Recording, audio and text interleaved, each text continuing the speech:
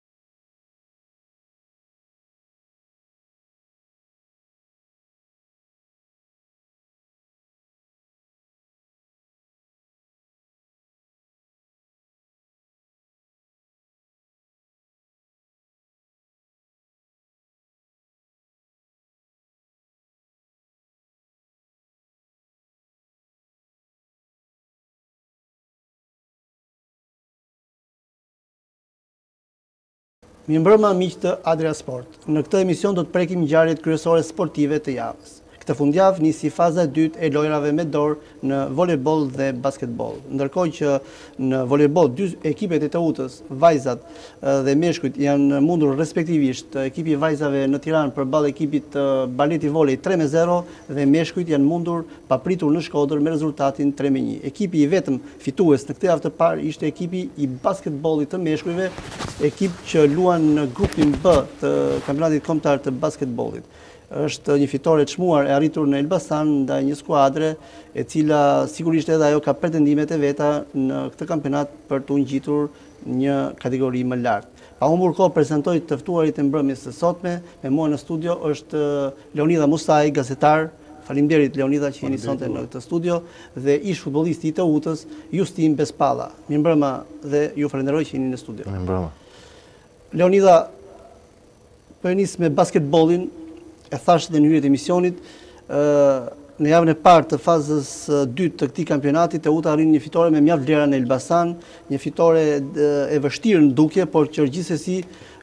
rikonfirmon edhe një herë faktin se Teuta është skuadra më e mirë e këtij kampionati dhe një ndër pretendentet kryesore për t'u ngjitur sezonin e ardhshëm në elitën e basketbollit shqiptar.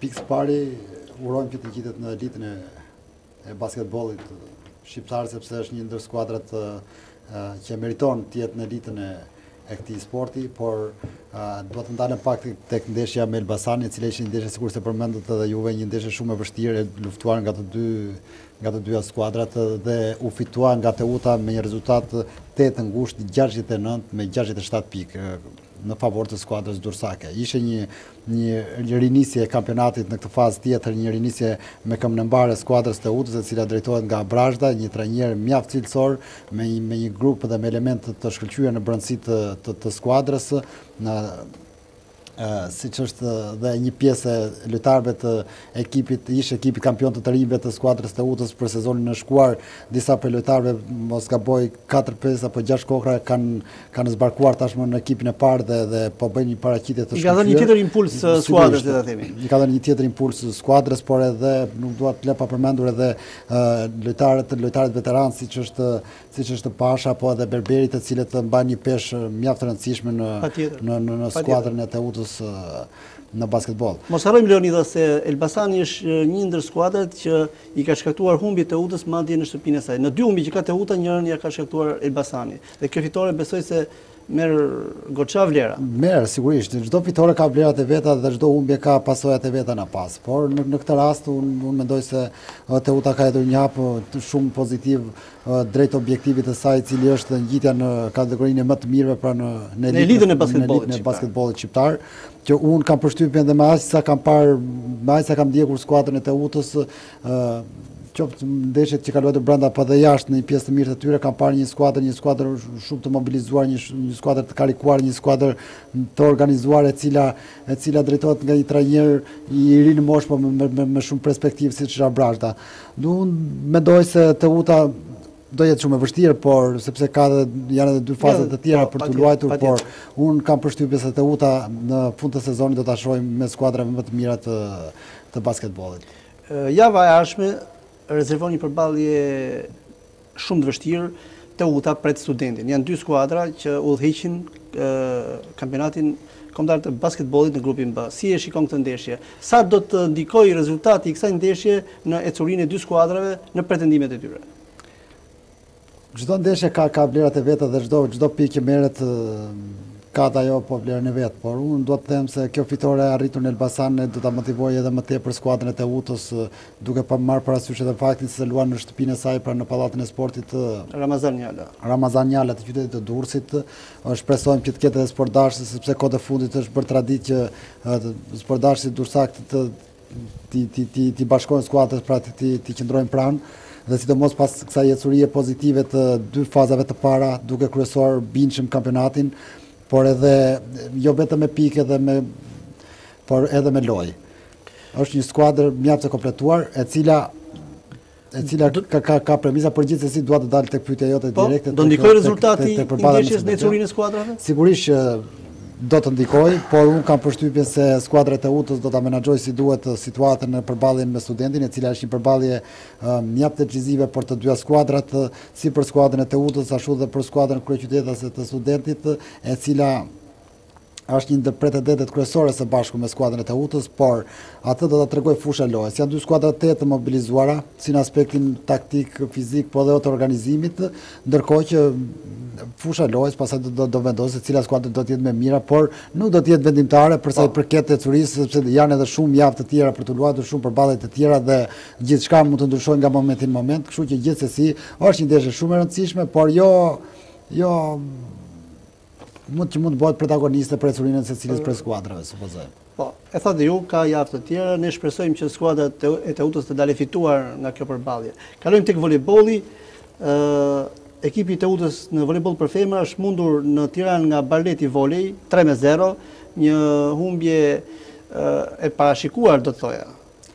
E parashikuar mund të thuash sepse... Duke pasur pasur sigurisht nivelin e skuadrës. Nuk kemi atë skuadrë që kemi pasur disa vite më parë në volejboll për femra, sepse ne kemi patur emra të mëdhenj në, në volejbollin durrsak, në të cilat kanë, kanë bërë histori dhe kanë krijuar një traditë për këtë, për këtë sport dhe për këtë qytet, por tashmë ky ekip përbëhet nga nga nga elementë kryesisht të rinj në edhe në moshë, fjala femra të reja, të cilat sepse po hyn traditës tashmë që të, të, të ndërtojmë një, një ekip me elemente të qytetit domethënë, sepse edhe financat apo diçka e tillë nuk nuk po ecën si duhet në Teuta ndërkohë në këtë kampionat pra në volejbollin e femrave Teuta renditet e katërta me 12 pikë me 4 fitore dhe 4 humbje. E pesta në mos gaboj.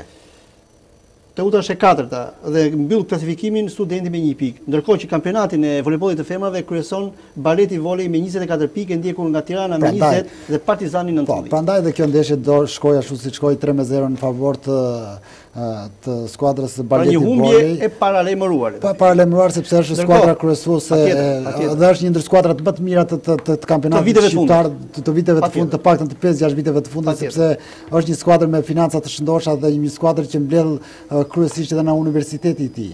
Po, po. Sepse ka të bëjnë ka një lidhje të ndërsjelltë mes njëra-tjetrës skuadra e Barleti Volej me me me Universitetin po. Marin Barleti në Tiranë. Dhe e papritura ndodhi mos ta harrojmë, mos lë po, pa përmendur po. skuadra e Barleti Volej vite më parë unë mbaj mend që ka patur 2-3 emra të spikatur të volejbollit amerikan, të cilat tre tre vajza shumë të shkëlqyera të talentuara, të cilat i dhanë një impuls tjetër kësaj skuadre për 2-3 sezone radhazi në në në skuadrën e Barleti Volej. Ka disa sezone, është vërtet që kjo skuadër është ajo që udhëheq volejbollin e femrave. Ndërkohë e papritura ndodhi tek volejbolli i meshkujve. Pikërisht atje ku Teuta u mund në Shkodër 3 me 1. Pra e ka nisur jo mirë le të themi këtë fazë të dytë. Ndërkohë që Renditjen e kryeson ekipi i Studentit e ndjekur nga Tirana, në vend të tretë Teuta. Si e shikoni këtë humbje? Unë e cilësova pak a shumë të papritur. Faktikisht do të do t'i bëj një analizë shumë shumë shumë shumë të shkurtër kësaj kësaj kësaj përballje me Shkodrën sepse edhe vetë kam ngelur i surprizuar nga ky rezultat sepse nuk e prisnim që skuadra e Teutës Të dilte e mundur. Në volejboll për meshkuj të dilte e humbur, po të paktën edhe e humbur mund të dilte, po me këtë rezultat nuk e prisnim. Pra, skuadra e Teutës në volejboll për meshkuj është ka qenë një ndër skuadrat më të mira të të këtij kampionati të kësaj disipline përgjatë viteve të fundit me elementë të shkëlqyer të cilët kanë bërë histori në në volebollin shqiptar, shqiptar te meshkujt. Por dhe jo më kot dhe mban edhe vendin e tretë siç e përmendëm dhe tashmë në në renditjen e klasifikimit nën studentin edhe Tiranën, të cilat janë dy skuadra tashmë janë shumë të larta dhe janë është ajo çështje e financave të shëndosha dhe kanë kanë element shumë të shkëlqyer në në grupin e tyre në në skuadër. Por humbja në Shkodër që ishte ishte e papritur, jo vetëm për për sportdashësit durrsakë, por për të gjithë ata që që e pëlqejnë sadopak këtë këtë lloj sporti, këtë lloj disipline, por më tepër më shokuese ka qenë për vetë lojtarët të cilët e kanë konsideruar një humbje të papritur dhe të paparalajmëruar, le të themi sepse ishin përgatitur për një për një ndeshje tjetër, për një për një, për një rezultat tjetër, për një fitore, jo sepse fitore, nuk, sigurisht. nuk ka barazim në të tilla disiplina, ka vetëm fitore dhe humbje. Sigurisht. Dhe për të kaluar tek futbolli, por përpara se të kalojmë tek Superliga, e cila sigurisht do të zërë vendin kryesor në minutat e këtij emisioni, i rikujtoj edhe një herë të gjithë atyre që na ndjekin se pikërisht të dielën, pra dje, nisi dhe faza e dytë e kampionateve kombëtare të grupmoshave. Pra për të rinj dhe para të rinj. Ekipi i Teutës për para të rinj, që është dhe kampionja e dimrit, arriti një fitore 2 me 0 ndaj Vllaznisë, Ndërkohë që të rinjtë u mundën po me të njëjtin rezultat, zero me dy nga ekipi i Vllaznisë. Leonidha, për ta për ta zgjeruar pak këtë argument, si i shikoni këto dy skuadra të të Teutës? Skuadra... Se ka diferencë midis të rinjve dhe para të rinjve, është një diferencë e dukshme. realisht. Faktikisht janë janë dy skuadra, dy grupmosha të, të ndryshme me njëra-tjetrën sepse po në fund të fundit unë nuk nuk i marr parasysh rezultatet, sepse akademia nuk ka si qëllim për, për, për të arritur rezultate për t'u shpallë kampion, normalisht është kënaqësi e veçantë që të shpallesh kampion për të rinj apo edhe për para të rinj, por Motivi kryesor i këtyre akademive është të të nxjerrin sa më shumë talente për të furnizuar ekipin e parë, sepse ekipi i parë është në ditën e tij më të zezë të historisë së futbollit durrsak. Skuadra e Teutës po përjeton një moment të tejet delikat dhe shumë të vështirë, si asnjëherë tjetër më parë, le të themi, dhe është e nevojshme pra kjo nxjerrja e talenteve, sikurse ka qenë edhe vite më parë kur unë mbaj mend. Shumë përflitet, por nuk po i shohim këto talente në fushën e lojës. Nuk po i shikojmë, por ne më përpara kemi pas kemi kemi pas shumë talente të që vinin nga Durrësi, unë këtu në studio është edhe është dhe Justini. Justin Bespalla, i cili ka qenë një ndër sulmuesit kryesorë të skuadrës së Teutës dhe një ndër më të talentuarit nëse më lejon ta them për skuadrën durrsake dhe kishe qejf të të të shikoje Gentian Begeja në sulm, Justin Bespalla, Oerd Kote, Dritan Babamusta, shumë shumë emra të tjerë, Xhevair Kapllani, po të gjithë elementë durrsakë. Pa pa pasur nevojën e ndërhyrjeve në merkato. Shiko tani, se ne duhet të ndalem pak te ky moment, se e kaluam nga biseda, nga, nga të rinjtë dhe dhe kaluam tek Teuta. Po, do të kalojmë tek Teuta, s'e kaluam. Për ta përfunduar, po, për ta përfunduar. Për ta përfunduar. Këtu është kampionati shqiptar, le të themi, ose futbolli ndahet ndahet në në në dy etapa. Etapa do të doja t'i konsideroja financat edhe zemrën. Apo jo. Patjetër. Në Shqipëri financat ekzistojnë vetëm në 2-3 klube ku financat bëjnë diferencën, siç është Kukësi supozojmë Skënderbeu apo dhe Tirana me Partizanin, ndërkohë që pjesa tjetër e skuadrave luajnë më tepër për, për, për fanellën, apo jo. Sepse janë aty ku janë normalisht dhe mm, nuk mund ta bëjnë një lojtar që nuk është durrsak, nuk mund të japin atë atë produkt që do jepte Justin Bespalla supozojmë kur nuk bëhet fjalë për lek, kundrejt një sulmuesi nga Korça që do të luajë për Teutën dhe të japi shpirtin në fushën e lojës. Ky ndoshta jep për fanellën, jep për për, për, për qytetin, për tifozët, për për për kalamajt e lagjes nëse mund ta themi kështu që që e adhurojnë dita ditës që e shikojnë kur stërvitet dhe e kundërta ndodh me me këto skuadrat e tjera, pra që, që kanë financa të shëndosha dhe luajnë me, me, me lojtarët e elitës, si siç është Kukësi supozojmë, me Pero Pejiçin, i cili është një, nga lojtarët më të mirë të të të kampionatit shqiptar të futbollit dhe mund të luajë pa frikë edhe në në në kampionatet e Ballkanit apo qoftë edhe të, edhe të Europës. Atëherë, për të kaluar te Justini, e lamë pak në hije për shkak dhe të temës së nisur të këtij emisioni me lojërat me dorë. Justin, ë për shkak dhe të detyrës që ju keni si vëzhgues në këto kampionate, si e shikoni nivelin e këtyre kampionateve, pra të kampionatit për të rinj dhe para të rinj? Po, po tani Kampionati nga para të rinjtë te të rinjtë ndryshon. Në ç'kuptim ndryshon? Ndryshon se para të rinjtë gjithmonë janë më këmbëngulës, janë më të apasionuar ndaj futbollit, se sa të rinjtë. Kur dhe kanë një synim që të kalojnë nga para të rinjtë te të rinjtë, kurse te të rinjtë vjen mosha, si gjithandej vjen mosha e rinisë. Ka disa që përkushtohen. Ka një shthurje do të thoni? Ka disa, ka disa lojtarë që përkushtohen dhe ia dalin, ka disa që shthuren dhe i kap i kap ai si ta them euforia e moshës. Dhe e lënë futbollin e lënë dorë të dytë. Ju ndoshta keni pasur pak mundësi të ndiqni dy ekipet e Teutës, thashë pak për shkak të detyrës që keni. Sa e ndiqni këtë skuadër, domethënë sa herë keni pasur mundësi ta shikoni Teutën të për të rinjtë dhe para të rinjtë? Keni pasur mundësi reale? Kur kam pasur mundësi, i kam shikuar. I kam shikuar si para të rinj si të rinj. Ka një diferencë në rezultate dhe në lojë midis të rinjve dhe para të rinjve. Nga vjen kjo nga brezat? Jo, atë që të thashë më më përpara. Te paratrit luajnë me me me më përkushtim. Po pse pikërisht vetëm tek Teuta ndodh ky fenomen? Pse nuk ndodh jo. fjala vjen në Shkodër apo jo, jo, tek jo, Shkëndija e jo, Tiranës? Jo, e ke e ke gabim. Në çdo në çdo ekip të kategorisë të parë për grup moshat, për grup moshat, po? siç janë trit, gjithmonë ka një shthurje dhe ka një, si ta them ty, një vetëbesim në vetvete, pse unë të luaj te trit, e mos të shkoj te ekipi i parë. Pra ekziston kjo mendësi le ta themi tek këta lojtarë. Ekziston në çdo te gjithë lojtarët, te jo, gjithë lojtarët, te gjithë lojtarët e të rinjve ekziston po atë duhet Po nuk është ky një motiv që ta thënë atë atë atë atë ngjitje në ekipin e parë duhet t'ia kërkosh vetvetes. Sigurisht. Nuk duhet ta kërkosh në ajër, po duhet ta kërkosh me punë, me të gjitha. Pra është një motiv të thashë unë pra, më i pra, madh. Prandaj thashë, kurse paratrit janë më janë më të qetë nga ajo anë, janë më ashtu luajnë futboll, qarkullojnë topin dhe janë më të organizuar se sa trit. Kurse trit janë, si ta them unë, 11 vet, janë 11 kapedan. Dhe është... kur janë 11 kapedan ça do i presësh ekipit që të eci përpara. Mos ndoshta duhet edhe një trajner pak më më i fortë në thonjza në autoritet. Më, më, më diktator. Po. Mos ndoshta ka nevojë këto ekipe për një figurë të tillë apo s'e shikoni edhe aq të lidhur. Meqenëse ekziston ka kjo mendësi.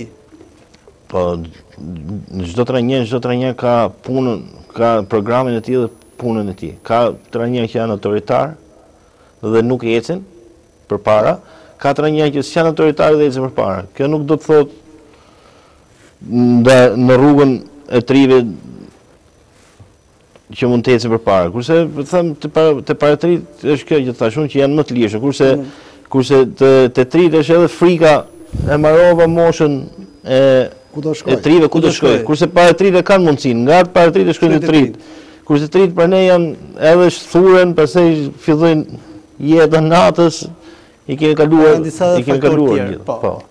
Për të kaluar tek Superliga, pra tek java e 22 e Superligës, ë ishte java e katërt e fazës së dytë të këtij kampionati, ku sigurisht rezultati më i papritur ishte fitorja e Laçit në Durrës ndaj Teutës me rezultatin tre me një.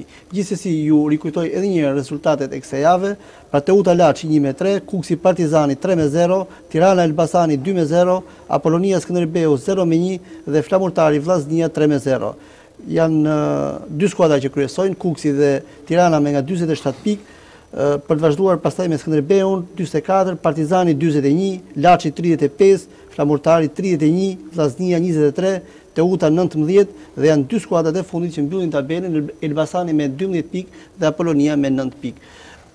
Leonida, përkundër të gjitha pritshmërive, do të thoja, Teuta ka zhgënjyer në këtë fillim të fazës së dytë, ka tre humbje, një fitore. Teuta ka zhgënjyer që në fillim të kampionatit do të thoja unë sepse Po ndryshe ishte pritshmëria në fazën e dytë. U bënë disa ndërhyrje në merkato, erdhën lojtarë me eksperiencë, lojtarë që e njihnin dhe ambientin e Teutës. Nëse do të themi lojtarë me eksperiencë, eksperienca duket në fushën e lojës, sepse nuk nuk po i marrim për për mosh. Mosha është moshë dhe marrim Pleqtë e t'i fusim aty, hajde do ta bëjmë. Por unë mendoj se lojtarët të cilët kanë ardhur si përforcime të kampionatit të fazës së dytë dhe të tretë të kampionatit nuk kanë dhënë atë që që pritej. Çota ka realizuar dy gola, le të themi të paktën mund të jetë mund të jetë afrimi më cilësor po e them në thonjëza por nuk është i tillë ndërsa Braja dhe Kuli nuk i kanë nuk i kanë shprehur aftësitë e tyre apo ta tregojnë punën për të cilën kanë ardhur në Durrës. Ndërkohë që për të dalë direkte tek tek tek pyetja juaj tek përballja e Teutës me Laçin, një humbje e thellë e skuadrës së Teutës përballë një kundërshtari të të motivuar dhe Kjo humbje e futi edhe në krizë më të thellë skuadrën e Teutës, pas asaj të pësuar një, një javë më parë në Elbasan kundrejt Elbasanit, i cili është i cili është rivali kryesor për skuadrën e Teutës në luftën për mbijetesë dhe rezultati i së shtunës me Laçin i konfirmoi edhe njëherë tjetër skuadrës së Teutës apo paralajmëroi drejtuesit apo edhe edhe drejtuesit teknikë apo dhe drejtuesit e klubit që grupi aktual nuk është grup me perspektivë. Në deklaratën pas ndeshjes, ju ishit i pranishëm aty, drejtori teknik Ilir Biturku konfirmoi se Teuta tashmë është në krizë rezultatesh. Nëse, nëse nuk do të nëse nuk do ta pranonte, atëherë do i bie që të të, të gënjente. Po Biturgu është një një një njeri profesionist, një profesionist, profesionist dhe është normal. është realist. I vetëdijshëm për çka po ndodh te kjo skuadër. Nuk është faj as i Biturgut as i Gent Beges, as ai kontingjent është më i mirë që ke atë mund të bësh. Po, po. Por Unë pashë një skuadër tejet të tërhequr me, me Laçin, një skuadër e cila nuk kishte ndoshta dhe dëshirë për ta për ta fituar ndeshjen, një skuadër tejet të ndrojtur, një skuadër me, me gabime të jashtëzakonshme në prapavijë, një skuadër pikësëpari duhet të ketë mbrojtje, ta ketë gardh, në mënyrë që të mos pësojë gola pastaj i përket sulmit nëse nëse do të shënojë apo jo le të ngelet faja e sulmit po të paktën nëse ke një mbrojtje të mirë të blinduar atëherë ke një një pikë e ke pa filluar loja, e ke në xhep ndryshe nëse ke një një mbrojtje shosh sikurse është ajo e Teutës që fut ujë në të katra anët e saj atëherë atëherë jo vetëm humbja është është e pranueshme po edhe humbja e thellë është është e pranueshme. Në të tre rastet, po? në të tre rastet e golave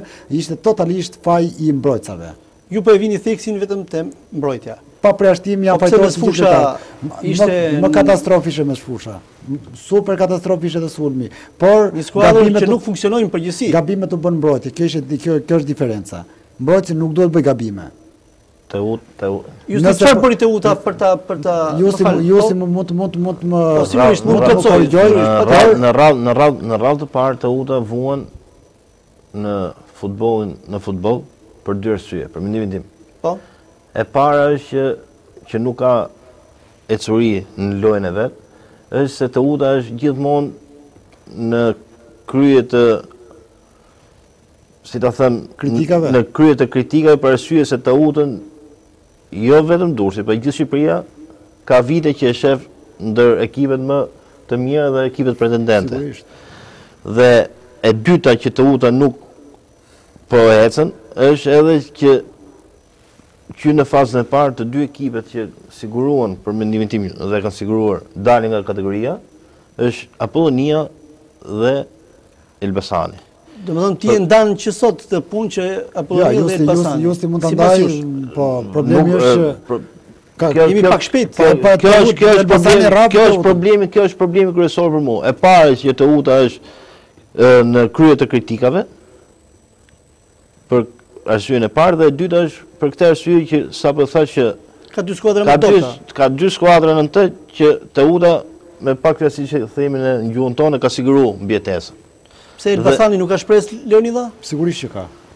Të gjitha skuadrat. Ndoshta ka shumë javë Justin, prandaj e bëj këtë pyetje. Janë akoma edhe 14 javë për të luajtur, ndërkohë që është luajtur, janë luajtur vetëm një pjesë e kampionatit, pjesa tjetër.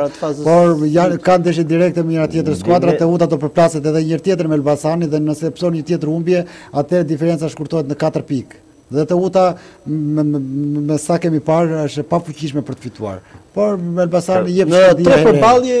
Elbasani ka mundur dy herë Teutën. Teuta, Teuta ka një avantazh si për Elbasanin dhe si për Fierin shumë të madh. E para që ka një ta marrim nga presidenti, Ka një president, për mua, është një nga presidentët për mua më të mirë dhe më afatgjati që ka në Shqipëri dhe më korrekti. Ka një staf teknik që e njeh futbollin dhe ka vite që është marrë me te. Ka një preparator atletik, siç është Eca Lila, nga më të mirët në Shqipëri. Ka një staf mjekësor si Tan Mytërrizi dhe masazhatori Jani Shaba nga nga më të mirët në Shqipëri dhe them që ky bashkëpunim lojtar, staf, president është më më i mirë si siç është te ë Apollonia dhe te Elbasani. Dakord, ka ka ndryshim, ata kanë kontingjent të mirë, këta që i thua ti janë prapavija. Është e vërtetë ajo që thatë ju Justin, por atëherë ë Ajo që presin sportdashësit, por edhe vetë ky staf që ju përmendët, është arritja e rezultateve. Çfarë nuk po shkon te kjo skuadrë që nuk po arrihen rezultatet? Çdo ekip e kalon një fazë bllokimi. Kemi edhe ekipet si Dortmundi, nga pretendent për kampion, është vend fundit. E vërtetë është. Edhe Teuta them shumë shpejt, edhe sa të kolaudohen me njëri-tjetrin, lojtarët, them që shumë shpejt do dalin në lojërat e veta. Nuk është Teuta me aq sa kam parë, aq sa kam ndjekur dhe aq sa i njoh. Nuk është Teuta kjo Teutë që po shohim sot. Fakti është që kjo është Teuta. Pavarësisht emrit që ka. Jo, nuk, nuk po e marr nga, nuk po e marr nga emri, por po e marr edhe nga lojtarët. Ka lojtarë, ka lojtarë që dinë të lujnë topin, ka lojtarë me gjak, ka lojtarë shumë të mirë, po ka, janë në një ngërç psikologjik. Ngaqë i kërkojnë me çdo ngulm, me, me çdo mënyrë që Teuta të shkojë te rezultate pozitive, dhe edhe futbolistët janë kontraktuar. Dhe them nga ndeshja në ndeshje të siguroj që Teuta shumë shpejt te dy tre ndeshje do dali Teuta që duhet. Leonidha u bënë disa ndeshje që Teuta ka dhe një problem tjetër. Paktën nga ajo që konstatojmë ne, është që Teuta nuk po prodhon më as lojë. Pra ka pasur ndeshje që Teuta ka prodhuar lojë, por pavarësisht rezultatit që ka arritur. Ndërsa të paktën me Elbasanin, me Laçin, nuk është ajo Teutë që presin sportdashësit, të gjithë ata sportdashës, të paktë, të paktë që ishin dje, në, të ishin të shtunën, falni, në Niko Dovana, kanë mbetur tepër të zhgënjyër nga kjo skuadrë. Sepse nuk dha asgjë. Si është e mundur? Që të bësh lojë, siç thua ti, duhet të kesh kontingjent. Duhet të kesh lojtarë të talentuar, të cilët e përpunojnë mirë topin dhe të dalin dhe të shkrihen me skuadrën duke dalë rrjedhimisht në sulm. Ti do të thuash që Teuta s'i ka? Nuk i ka. Atë e pranojnë gjithë. E pranojnë, e pranojnë trajnerët, e pranojnë gjithë që nuk ke nuk është kontingjenti, ai kontingjent është, nuk kemi çaj çaj çaj. Leonila, ajo dihet që Teuta nuk e ka atë grup lojtarësh. Po atëherë çka kërkon? Ne ne pretendojmë, ne pretendojmë po, që po, si do dalim nga ky gër që Teuta të të provojë edhe lojë, të provojë edhe lojë, edhe të fitojë nesër. Po nuk nuk mund të të, të luaj po. Getafe me Barcelonën një lojë. Pra, siç qe Barcelona ka këtë gjithë, ne nuk po krahasojmë Teutën po, jo, po, përballet me po, Kukësin. Po marr në mënyrë figurative. Po, po, jo, po e themi me Kukësin, dakor, të kuptova. Po, dhe atë edhe luhet me Kukësin. Kukësi ka disa lojtarë të cilët të cilët bëjnë diferencë në kampionatin shqiptar. Ata mund ta qarkullojnë më mirë topin se lojtarët e Teutës, sepse lojtarët e Teutës janë në nivelin mesatar. Po shiko, në katër javët e para, Teuta nuk është përballur me asnjë nga katër skuadrat që kryesojnë. Është përballur me Flamurtarin, me Vllazninë, që fitoi me mjaft vështirësi, me Elbasanin dhe me Laçin. Dhe ka arritur thashë tre humbje, një fitore. Me kë do fitojë Teuta? Po nuk mund të fitojë. Me pra. Tiranën. Po dhe Partizanin që ka javën e ardhshme. Ka javën tjetër, javën e ardhshme ka Partizanin. Futbolli, futbolli nuk i dihet asnjëherë, futbolli nuk i dihet. Po dakor që është e vërtetë. Një para se të mbarojë loja, po nuk mendon se Teuta do bëjë surprizën në Tiranë me Partizanin. Ajo është për t'u parë, sepse skuadra mund të po. ndryshojnë nga momenti në moment, mund të jetë Partizani në një ditë të errët dhe mund të fitojë Teuta, por mund të jetë dhe i deshë... Pastaj, që se ne nga përqenë... Po, pra, ne ka futbolli pa fitra, pra, ne futbolli që është sporti më i bukur, sepse ka nuk parashikohet asnjë rezultat. Ne do dalim edhe tek Partizani pak më pas, sepse është një ndër... Po, mua nuk më kënaq kjo skuadër me me këtë kontingjent, ndoshta i velur dhe nga nga nga 3-4 sezonat e shkuara sikurse përmendët dhe ju që kishim një një, një skuadër të bukur edhe në, në pamjen fizionomike, le të themi. Ishte ishte skuadër skuadër me lojtarë me peshë, si Daniel Xhafa, Tefik Osmani, Arjan Sheta, Hektor Idrizaj, Da Silva, Kanë qenë lojtarë të cilët të cilët bënin diferencë në kampionatin shqiptar. Teuta një sezon më parë, deri në javën e 10 nuk kishte pësuar asnjë humbje, që të gjitha ndeshjet i ka i ka luajtur jashtë për shkak se uh, tapeti i stadiumit Niko Dovana qe në rikonstruksion e sipër. 8 javë, 10 javë duke luajtur në transfert dhe duke mos pësuar asnjë humbje, por 4 fitore, 5 fitore dhe 5 barazime. Skuadra ka qenë atëherë nën drejtimin e teknikut Gugash Magani, kryesoi për javë e javë të tëra, vetëm javët e fundit çedoi disi skuadra dhe nuk çedoi për shkak se nuk kishte kontingjentin e nevojshëm, por çedoi sipas mendimit tim personal, sepse u ndryshuan trajnerët, erdhi njëri pas tjetrit, erdhi italiani, mbas Sorrentinos erdhi Gent Begeja dhe Për mendimin tim, Gentian Begja është një nga trajnerët më të mirë që ka, që ka parë Teuta gjatë viteve të fundit, sepse është një trajner që e, e, e njeh, e njeh shumë mirë skuadrën. Por, problemi i madh për të në këto momente dhe fatkeqësia e tij është sepse nuk ka një grup lojtarësh cilësor. Ta thetë edhe ta themi hapur atë. Them, mund të them sa, sa mund të vuaj Begeja humbjen, nuk mund të vuajnë lojtarët që luajnë. Të punojnë, ti e njeh më mirë Begeja, po do e njoh se kemi shumë që punojmë me njëri-tjetrin së bashku, por është, është një, një, një njeri me shumë personalitet dhe me një karakter të jashtëzakonshëm, domethënë, që e përjeton jashtëzakonisht. Ne kemi parë dhe në pankinë, gjatë se, se, se si... Shumë i përkushtuar, normalisht. Normalisht, dhe acarohet në momentet që bëjnë gabime lojtarët dhe është mu më vjen keq më tepër për, për, për, për Begen se sa për skuadrën e Teutës. U duk, u duk se në pjesën e dytë Teuta do të bënte edhe një farë ishte ishte një ndeshje me me me me krijoi idenë e rreme me me dy me dy tablo, le po, të themi. Po. Gjatë pjesës së parë Teuta ishte ishte inekzistente në fushën e lojës. Lojtarët nuk fituan asnjë dyluftim përballë kurbinasve, të gjithë dyluftimet u fituan nga lojtarët e e Laçit, po. duke filluar që nga sulmuesi shtatshkurtër James, i cili i krijoi shumë probleme si Brajes, po ashtu edhe Rustem Hoxhës, të cilët ishin një qendër të që të, të mbrojtjes, por në ditë të mirë nuk ishte as Renato Hoxha në këtë ndeshje. Uh, gjithashtu Hodor nuk nuk ishte në nivelin e tij kryesor, por përveç portierit Pjesa tjetër e skuadrës ishte vërtet në një gjendje të mjerueshme. Portieri nuk u nuk u nuk u vu shumë në vështirësi në tre raste, vetëm një. Ishte i pafajshëm në tre raste. Do të ishte ishte i pafajshëm në një prej rasteve, ai bllokoi, po. Se goli i tretë mund të vinte edhe më shpejt Leonida. Kemi parasysh daljen e sulmuesit. Rizvani është një ndër portierët më të mirë të kampionatit shqiptar, le të themi, është prej 3-4 vitesh. Leonida nuk është puna pse Teuta u rrah me Laçin. Se Laçi i ka marrë fitore jashtë edhe ekipeve pretendente. Laçi është një ekip solid. Ka ka vitet e fundit është një një ekip pothuaj titullar. Është një ekip që për mua është më kompakti në kampionatin, në kampionatin dhe nuk është nuk që të marrë nuk është tre çështje që tre mungesa. Nuk është nuk është një çudi që të rrafi. Ai ka siç e the edhe ti ai James për mua është një nga sulmuesit më të mirë në Shqipëri. Ka një grup... Velia e është mesfushori në dërmë... Ka pra, i ka lojtarë, nuk është çudi pse të rrafi, jo, absolutisht nuk është rafit të ullë, po... Jo më kërë është të kështë. Neve na djeg fakti... Sepse u bërri është kjo punë. Po, neve na djeg fakti, fakti pse Teuta, i ka humb, i, për mendimin tim i ka humb edhe ai agresiviteti që ka pas ndër vite. Nuk ka më, nuk shof një lojtar që të qaj ose të ta mori... Jo, nuk e kam në problem. Nuk, nuk, nuk kam pa më. Edhe zëvendësimet që kreu Teutën. Kjo, kjo më vje edhe keq për Teutën. Edhe zëvendësimet që kreu stafi teknik i Teutës, në pjesën e dytë, nuk dhanë asgjë. Ja, për mendimin tim, unë unë dua të kundërshtoj këtu, lojtarët të cilët u zëvendësuan gjatë pjesës të dytë, po. Deljalisi dhe Amataj, ndryshuan totalisht rrjedhën e lojës, pavarësisht golit të tretë, sepse goli i tretë erdhi nga një papërgjegjshmëri, le të themi edhe e skuadrës, sepse ishte në sekundat e fundit, po ishte minuta nëntëdhjetë e tre dhe nuk ishin çau mbisin mojt ishin gjithë në sulm ishte goditje këndi dhe erdhi dhe goli i tretë erdhi si erdhi por Lolino unë kam parasysh rastet që krijuan skuadrat Sa raste krijoi Teuta dhe sa raste krijoi Laçi? Pavarësisht dëshirës së Teutës që të ishte më afër zonës së Teutës, të Laçit. Gjithsesi, por Deljalisi ka bërë një lojë ishte ai lojtari le të themi që po thonte edhe Justi pak më përpara që që çante nga inati, le të themi. Vetëm ai unë vetëm atë shikoja që përplasej me lojtarët. Nuk e di çfarë mendimi ndan Justini për sa i takon zëvendësimeve të kryera. Po- A dhanë atë që prite apo jo?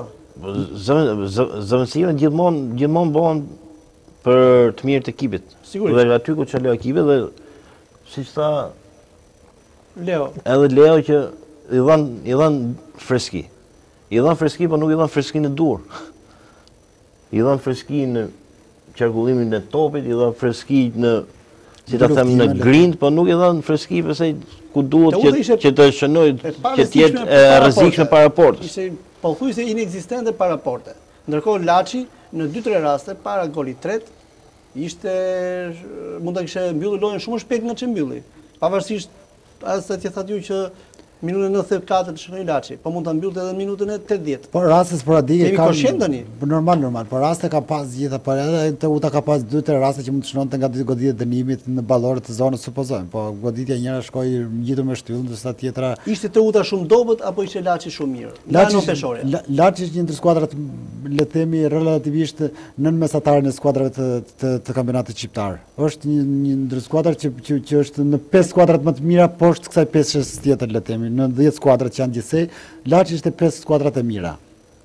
Më të mira të kampionatit. Ndërsa Teuta ishte pesë skuadrat poshtë. Tani edhe Teuta ishte ishte pak dobët, por Teuta kishte një mungesë siç të rëndësishme siç ishte ajo e e Bekim Kulit, i cili ishte me karton të verdhë dhe nuk u ishte i pezulluar, nuk u aktivizua, por një ndër problemet më të mëdha të të skuadrës së Teutës gjatë fazës së tretë të kampionatit, e cila filloi fill pas vitit të ri, ka qenë dhe mungesa e mesfushorit lushnjar Koreshit.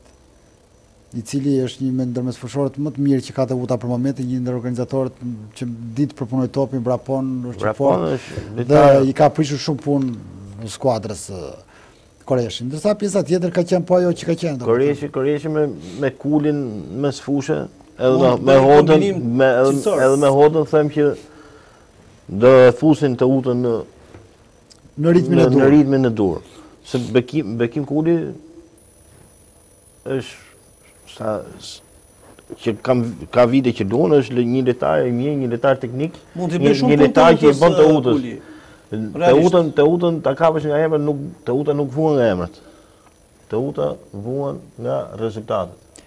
Po të ishe ti në fushë nuk do vuante nga emrat Teuta sepse je një emër i njohur, po problemi është që është janë emra të vjetruara Justi. Brahja është shumë i vjetër. Po, Bekim Kuli nuk vrapon ashtu siç ka vrapuar ti kur ishe 20 vjeç. Nuk ka thotë i vjetëri në futbol. Pa po, si s'ka futbolli, futbolli ka futbolli luhet derisa ti e ndjen veten që nuk je më për fushën e lojës. Po, kemi ne shumë lojtarë dhe lojtarë të mëdhenj, që janë nga 37, nga... Dhe janë më të mirë se 28 po, po, vjeçarët. Nuk po morë këto pirë në këto, po kemi dina talent e... Ose të të dineze. Ose të të të Jo, ka lojtarë, që po, janë lojtarë, mund të thuash që janë lojtarë të përkushtuar. Janë lojtarë të përkushtuar për futbollin. Nuk janë lojtarë Si lojtarë shqiptarë që shkojnë deri farë moshe... Ja bari pastaj ja, hanë bukë me qofte pra, pra, në rakit... Mund të, ja, nuk është puna e rakisë, po them është puna përkushtimit futbollit. Ato, ato janë vërtet profesionistë, janë vërtet lojtarë të mëdhenj dhe e dinë që futbollin unë do ta luaj deri në këtë moshë. Ashtu është. Është edhe objektiv. Është objektiv dhe janë janë janë futbolli jashtë ka edhe objektiva, por futbolli jashtë ka edhe korrektesë. Ka disiplinë. Ka disiplinë, ka kushte të tjera, më kupton? Ndryshe nga futbolli shqiptar. Po edhe këto, edhe Bekim Kuli nuk është që thotë nuk është i vjetër. Bekimi 30 31.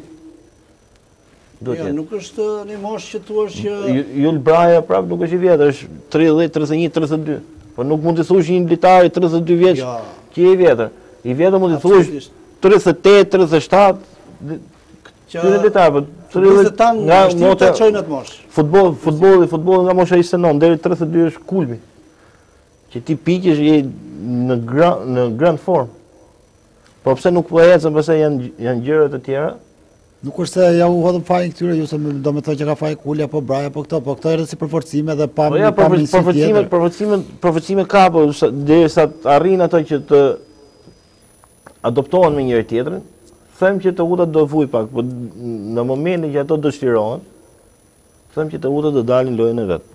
Ë Justini është optimist dhe sigurisht ndoshta Teuta mbase nuk do rrezikojë rënien nga kategoria. Po nuk bëhet, nuk bëhet fjalë, nuk bëhet fjalë. Realisht Leonidha me këtë humbje dhe duke pasur parasysh maloren që ka përpara Teuta në kampionat, vijnë radhazi tani katër skuadrat që kryesojnë kampionatin.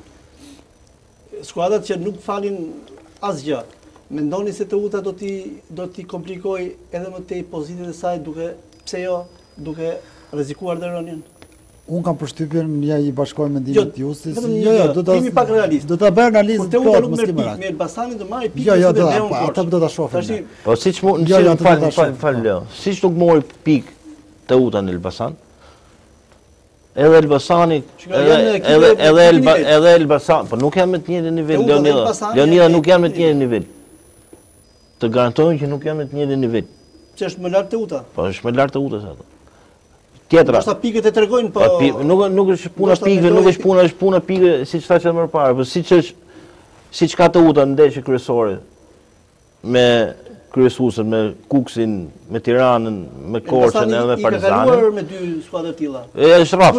Është rraf. Po edhe edhe edhe Fieri është rraf. Dhe kështu do shkojë dhe kështu do shkojë kjo deri në fund kampionatit. Dhe të të garantoj që Teuta ndeshje direkte me këto, do fitojë.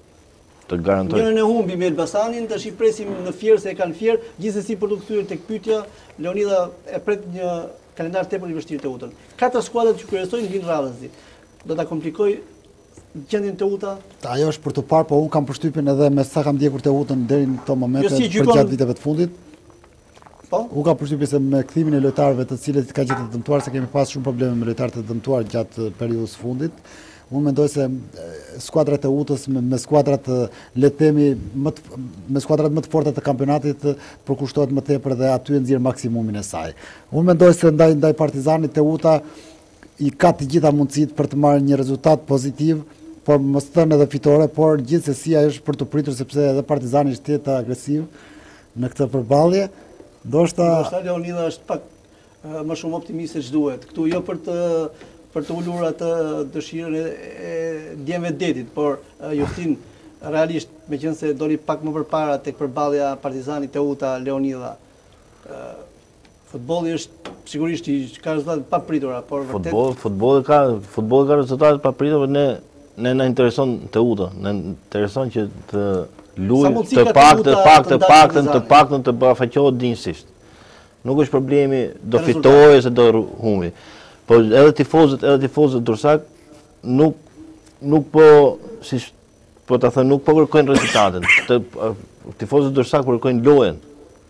Të paktën Teuta të dali në lojën e saj.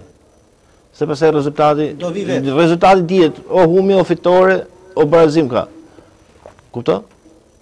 Kurse ne dumë që Teuta të dali në lojën e vet. Këta i bien shkurt që të shkojnë te, te, te, te humja. Po mirë tani humje futbolli njef vetë humje dhe fitore. Po, po, humje njef futbolli njef vetë humje dhe fitore, nuk nuk është aty po Është ajo që the ti Teuta të ballafaqohet me Partizanin me lojë edhe me dignitet. Nuk ka përdo, nuk ka përdo, nuk ka përdo, nuk ka nuk ka ndonjë çudi që të fitojë dhe Teuta, ose të marrë rezultat pozitiv. Teuta, Teuta, Teuta luan e lirshme, kurse Partizani luan, luan që kërkon fitore, luan në tension. Pra ne më thëmë. Edhe Partizani vjen në vjen në futbolli, futbolli, futbolli i njef edhe të papriturat. Nuk, nuk është e thonë që Teuta do ikë të rrifet. Edhe mund të rrifet, po i njef të papriturat. Teuta ikën e lirshme, ka një avantazh më shumë se Partizani. Partizani ka dhe fushën. Një tjetër avantazh. Fusha do jetë në fushë asnjanëse, sa për dijeni, sepse skuat fushat e Tiranës janë të, të dyja në rekonstruksion e sipër. Me shumë gjasa, Partizani do të inaugurojë tapetin e Qemal Stafës në ndeshjen pikërisht në ndeshjen përballë Teutës. Urojmë të jetë kështu. Më tepër prej terrenit se nuk ka ndonjë problem shumë. Jo, normal, normal. Po them që me shumë gjasa përballja Partizani Teuta do të luhet në Qemal Stafa. Pra Partizani i rikthehet stadiumit të vet. Një tjetër rezultat shumë i papritur para se të kalojmë dhe tek vazhdimi i prognozës Partizani Teuta është dhe humbja e papritur pikërisht e kësaj skuadre në Kukës. Shiko, Kukësi ka, ka një skuadër shumë të fortë dhe për më tepër luante në fushën e tij përballë tifozerisë së saj, nuk është se munguan edhe edhe tifozeria e Partizanit, të cilët ishin të konsiderueshëm në numër mbi 200-300 tifozë, të cilët kishin udhëtuar drejt qytetit verior për të ndjekur skuadrën e tyre të zemrës, e mbështetën deri në momentet e fundit, pavarësisht se si shkuan gjërat në në Kukës. Skuadra e Partizanit u nderua nga tifozët e saj në fundin e takimit ata presin një, një reagim prej skuadrës pikërisht në përballjen e radhës me Teutën, por për t'ju rikthyer pak pjesës së ndeshjes mes mes Kukësit dhe, dhe Partizanit. Kukësi shënoi golat i shënoi në, në, në harkun e pak minutave dhe dhe dhe përrjedhoi dhe u shturën dhe lojtarët e skuadrës së Partizanit të cilët tentonin herë pas here për të për të kapur në befasi më pas skuadrën e Kukësit dhe për të ngushtuar diferencat, por loja mori mori mënyrë më të keqe të mundshme për skuadrën e Shpëtim Duros dhe dhe rezultati ishte i tillë në fund të takimit. Skuadra e Kukësit le të themi ka ka një ka një snajper siç është sulmuesi kryesor i saj Pero Pejiç dhe në qoftë se do i kini vënë re diferencat Skuadra e Skënderbeut me vështirësi shumë, shumë të madhe. Fitoi në Fier. Po, po arrin të gjej golin, jo për fitore, po për arrin të gjej golin. Shoqëruar dhe me fitore kjo, Leonida shumë e rëndësishme. Cila? Gjetja e golit. Jo, e kam duhet a ditë me Pero Pejiçin, sepse Pero Pejiç ka qenë lojtar i Skënderbeut. Pjesë e Skënderbeut, sezonin e kaluar, po. I ka marrë një nga pikat më të forta Kukësi për të fituar titullin kampion, janë tashmë dhe strategjitë të tjera për të fituar titullin. Dobësimi i kundërshtarit. Ndeshja Kukësi me Partizani ishte ndeshja që tregoi kush është i përkushtuar për fitoren.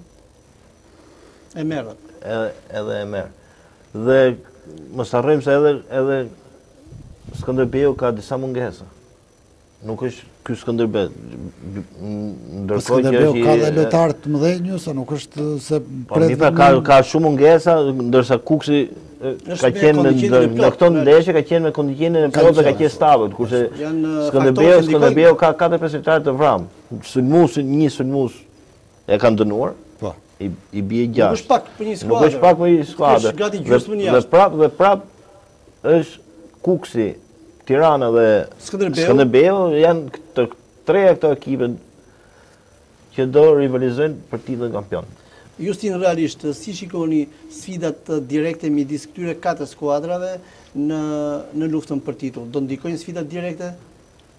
Mes njëra tjetrës, kuptohet, siç ishte rasti i fundit te Kukësi-Partizani. Normal normal që ato do do japin edhe rrugën për titullin kampion sfidat nëpërmjet njëra tjetrës. Apo do ndahet me skuadrat e nivelit më të ulët. Jo, jo, jo, jo. Me skuadrat e nivelit të ulët dihet që janë fitore, por skuadrat nëpërmjet njëra tjetërës është janë ndeshje të papritura. Ndeshje që nga momenti në moment pritet goli dhe aty mbyllet ndeshja. Nuk janë skuadra si që themi dorë, si që është Apollonia ose Elbasani që do të bëjë gol, e, ke besimin që po, do e kthejnë, po. kurse në, në të kundër në, me Me Skënderbeun dhe me Tiranën vështirë që nëse han gol është vështirë që t'i shënosh gol. Leonida, do të dalë titulli mes këtyre katër skuadrave, le ta themi në përballje direkte apo do të vendosin edhe skuadrat që janë më poshtë në renditje? Shiko, skuadra do të... Sa peshë kanë përballjet direkte? Po, sigurisht kanë peshë, sepse çdo pikë matet, matet në... Ka vlera të dyfishta. Qoftë fitorja, qoftë barazimi, po ashtu dhe humbja, sepse skuadra tjetër shkëputet përnjëherë gjashtë pikë, apo ja? Jo? Patjetër. Dhe unë kam përshtypjen se përveç ndeshjeve direkte do t'jenë decizive ndeshjet me ekipet ato që thashë pak më përpara... Pesëshes së dytë. Pesëshes së dytë të renditjes. Të renditjes.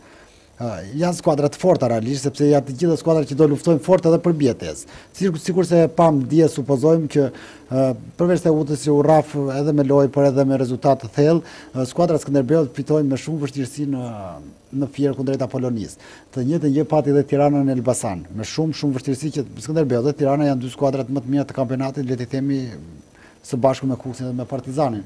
Por përballë këtyre dy skuadrave, të cilat janë janë inferiore përballë përballë tyre në në çdo lloj aspekti, këto hasën shumë probleme, le të themi. E ka fjalën që futbolli është bërë shumë i fortë. Të gjitha skuadrat dhe këto këto skuadra që janë poshtë pesëshes së dytë do luftojnë shumë fort për të qoftë për mbijetesë, qoftë për për për të për të ngjitur më lart, por është krijuar dhe një vakum në mes, është Vllaznia me 23, Teuta 19, vetëm Teuta që është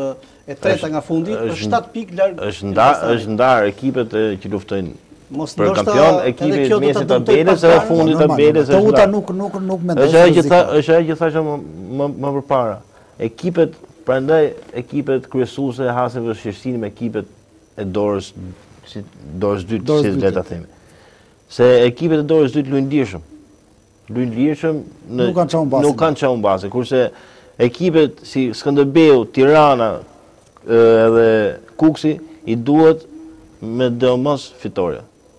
Dhe një gabim ose një rrëshqitje këmbe është ajo që ekipi kundërshtar të shkëputet 6 pikë.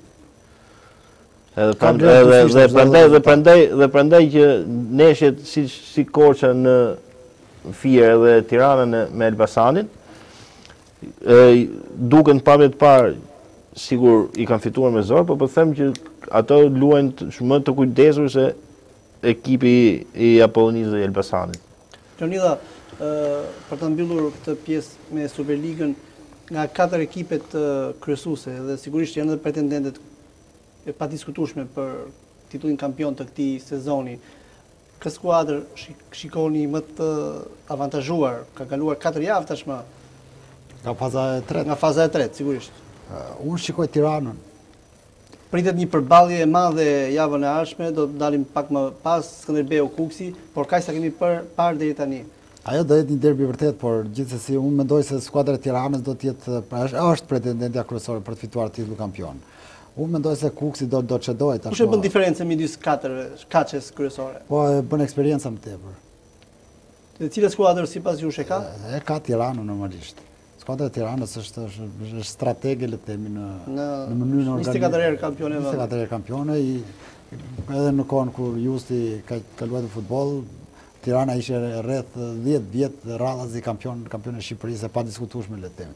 Pavarësisht këtyre dy dy viteve të fundit, Tirana ka patur probleme financiare faktikisht, ka patur probleme teknike, jo si skuadër. Tirana, Tirana edhe kur ishim ne që nuk ishte për kampion, Gazetat shkrujshin Tirana është për kampion. Edhe kur si vjet vjet nuk nuk shkon te njëri. Nuk nuk vjet me sigurojmë bijetesën normalisht. Normalisht po, nuk është më kjo hije është Tirana apo po. nuk është nuk është emri, nuk merret titull kampion me emër. Titull kampion merret me punë edhe kush derdh djersë te fusha e lojës, kush ka gjak ose kush ka etje për titull. Kush duket pak më lart në këndvështrimin tënd Justin, nga katërshja kryesuese? Aq sa kemi parë deri tani. Kanë kaluar 22 javë tashmë. Për mendimin tim, për mendimin tim çdo skuadër ka pas luhatjet e veta. Po nëse Skënderbeut i kthehen 6 lojtarët ose 5 lojtarët që mungojnë, unë them Skënderbeu dhe dhe Tirana do jenë për titullin kampion. Normalisht sulmuesi kryesor Olajinka është mos të gaboj i pezulluar deri në fund të sezonit. Nuk e di vetë nëse nëse falet në po, javën në vazhdim. Janë ka lojtarë të tjerë, ka lojtarë të disa lojtarë, ka ka disa lojtarë të tjerë të po, vrarë. Po për mua, për mua Tirana dhe dhe Skënderbeu janë për titull kampion. Unë këtë sezon e përjashtoj Skënderbeun për titull, ka një skuadër, është një skuadër me me kontingjent të shkëlqyer me me një organizim të jashtëzakonshëm, por organizim perfekt. Por mendoj se do ndahet titulli kampion do të qëndrojë në kryeqytet. Dhe kam përshtypje se premisat më të mëdha i ka Tirana për të dalë për t'u shpallur kampione. Para se të kalojmë tek kryendeshja e javës së ardhshme Skënderbeu Kukësi, edhe dy fjalë për ndeshjen tjetër pra Partizani Teuta. Të dyja skuadrat vijnë, ne e prekëm pak më parë, vijnë nga dy humbje secila, por më e rëndë besoj se është ajo e Teutës brenda fushës. Ë si e shikon këtë përballje Leonidha? A mund të ndikojë dhe është në në ngërç edhe psikologjik Teuta? përpara kësaj sfide. Ngërç psikologjik. Ka të arritur dhe faktorë të, po, tjerë? Dakord, dakord, po, dakord. Ecuria e deritanishme nuk nuk është se ka qenë e mirë e skuadrës Teutës, po nuk nuk bëhet fjalë për këtë. Unë mendoj se skuadra e Teutës do do do do do rikuperojë, pra do bëjë autokritikë të radhës ndaj Partizanit, është një skuadër e fortë, por gjithsesi, për mendimin tim, skuadrat janë në kushte të barabarta, Nuk ishte ndonjë humbje edhe Partizani kundrejt kundrejt Kukësit. Po ishte tjetër nivel Kukësi, normalisht. Po, po edhe Laçi ka të njëjtin nivel. Pra të dyja skuadrat vijnë vijnë nga pozita të njëjta, le ta themi, vijnë pozita të njëjta. Dhe si e shikon këtë ndeshje? Ndeshje shumë e fortë. Sa do ndikojë kjo kjo kjo situatë që po kalon Teuta? Sa do sa mund ndikojë? Po edhe Partizani sikurse përmendët ju vjen nga humbja, nuk është se se vjen nga rezultate pozitive, prandaj them që për të dyja skuadrat, të dyja skuadrat janë tejet agresive në në prag të kësaj përballje. Pra do të kërkojnë secila fitoren, besoj. Po asnjë skuadër nuk shkon. Atje për një X, normalisht. Da, da, di. Normalisht ne do të dëshironim një X, mes Partizanit. Mos i themi X, se se na na kapin për kompanitë e basteve, por unë mendoj se një barazim, Do t'i bëte punë Teutës, por edhe Partizani do të ishte i kënaqur sepse nuk është se e ka shumë të lehtë, pavarësisht rezultateve negative që ka pësuar Teuta gjatë ndeshjeve të fundit. Por një ndeshje është, nëntëdhjetë minuta janë, kontingjenti është i nevojshëm, le të themi nuk është ndonjë Partizani nuk ka super yje në skuadër, le të themi, të njëjtit lojtarë ka dhe një Pak a shumë ka kampionati shqiptar, përveç dy tre emrave apo katër emra që spikasin. Që spikasin. Pjesa tjetër është është është janë lojtarë relativisht mesatar, të cilët kur janë në një ditë të mirë shkëlqejnë, kur janë në një ditë të dobët janë mos i shohësh me sy janë për faqe të zezë. Por Me rikthimin e Koreshit, me rikthimin e Kulit dhe me rikthimin e Delelisë, unë mendoj se do të do kemi për të parë një një tjetër Teutë në përballje me Partizanin, një Teutë mjaft agresive, shumë të fortë dhe që do ta kërkojë fitoren që në minutën e parë. Unë nuk e di se si do dalë ndeshja, por kam përshtypjen se Teuta do do bëjë autokritikë ndaj Partizanit.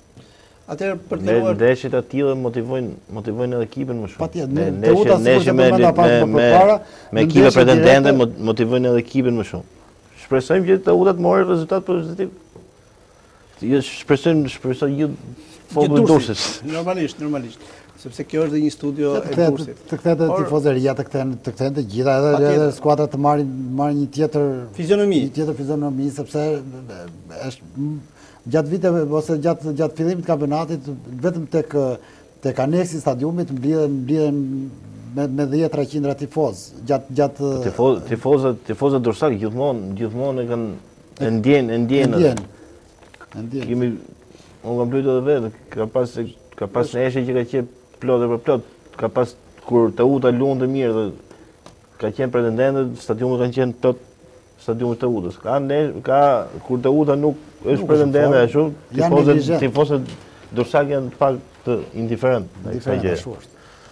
Dhe superndeshja e javës së ardhshme është Skënderbeu Kukësi. Sa do të vendosë kjo ndeshje?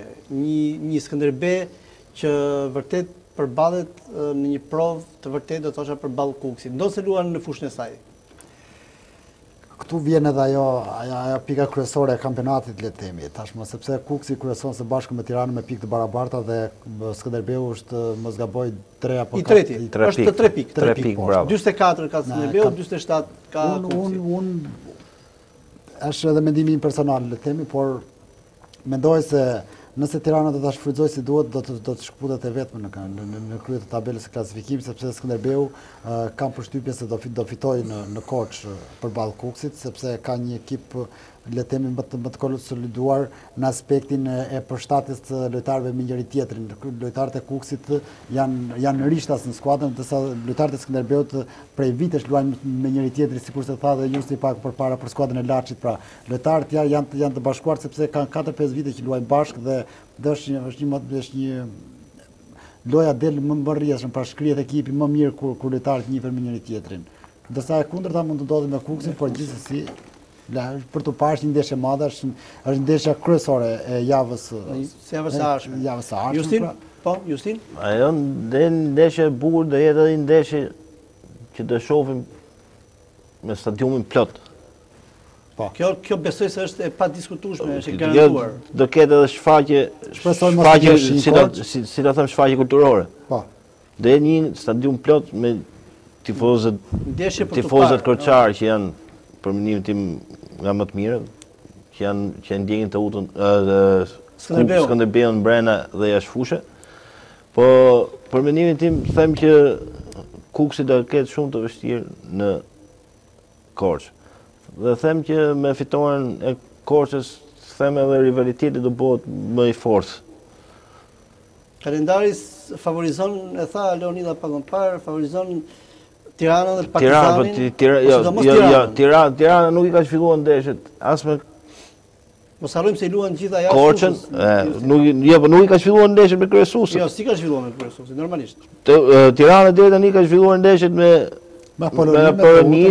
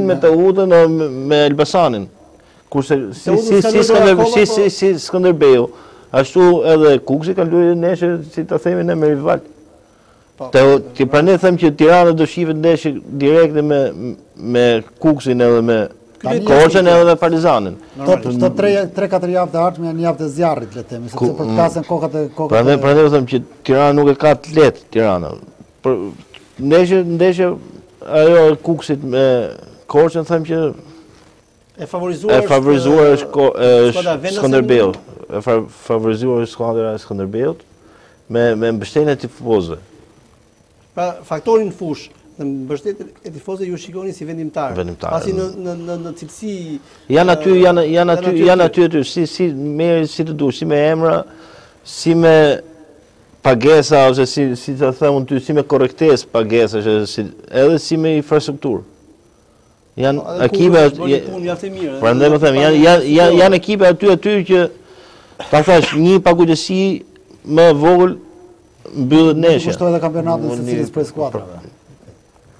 Është është ndeshje deçizive për mua për mua për mua mund të japin mundësi skuadrës Tiranës për t'u shkëputur. Skënderbeu, Skënderbeu me Kukësin. Ka edhe këtë javë këtë mundësi realisht. Skënderbeu me Kukësin them është më ka probabilitet më të madh Skënderbeu. Çdo fitore e kuksianëve besoni se hedh një hap të sigurt drejt titullit kampion? Pavarësisht se ka shumë javë. Jo, mund ta jo, themi jo, jo vetëm me Kukësin, po të gjitha. Po të jo, gjitha edhe Skënderbeu. Me po, prandaj Kukësi është edhe më lart se Skënderbeu në renditje, është 3 pikë më lart. Ne po 3 pikë, 3 pikë janë asgjë. 3 pikë është vetëm i neshje, ke ke ke plot neshje, ke plot edhe ndeshje tjera, po po them Çdo çdo pikë e humbur e këtyne e këtyne e këtyne ekipeve kryesuese vlen rrugën për titullin kampion. Atëherë këtu kemi ardhur në fund të këtij emisioni. Të nderuar miq, un falenderoj të ftuarit e mbrëmjes së sotme, kolegun tim gazetar Leonidha Musaj, faleminderit Leonidha. Faleminderit edhe unë për ftesën. Dhe ish-futbolistin e Teutës së viteve 90, Justin Bespalla. Faleminderit Justin që ishit sonte me mua në studio. Ishte ky minutazhi i Adria Sport dhe për këtë mbrëmje unë ju falenderoj që na keni ndjekur, bashkë do takohemi në emisionet e ardhshme, deri atëherë natë të mirë.